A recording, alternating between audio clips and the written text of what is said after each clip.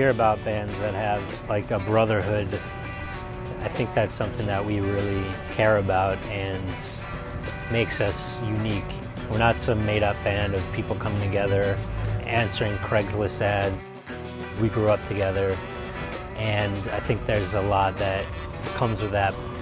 You know, we love each other, we hate each other, we go on the road together, we destroy hotel rooms together, we, we have a great time, and at the end of the day, that's what's important to us.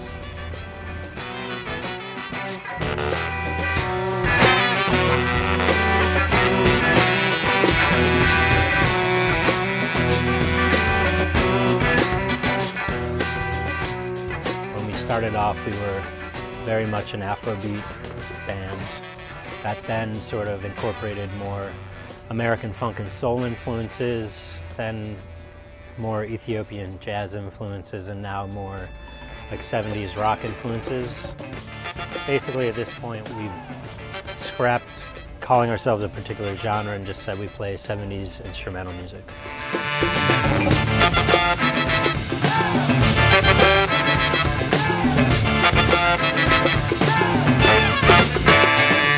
We're on Daptone Records, um, based out of Brooklyn, and that's very much a throwback label. Everything that they produce and release is analog. And there's a certain fidelity that comes with that.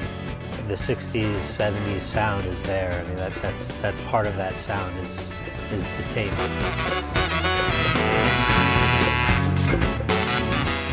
With tape, you, you really have to make you have to make decisions when you're recording. There's no room for hundreds of takes and waiting till you mix to decide if this or that's going to make the cut. Like you, you kind of have to make decisions from the get-go. And I think for us, that really, we feel that that makes a, a, a far superior sort of creative product in the end.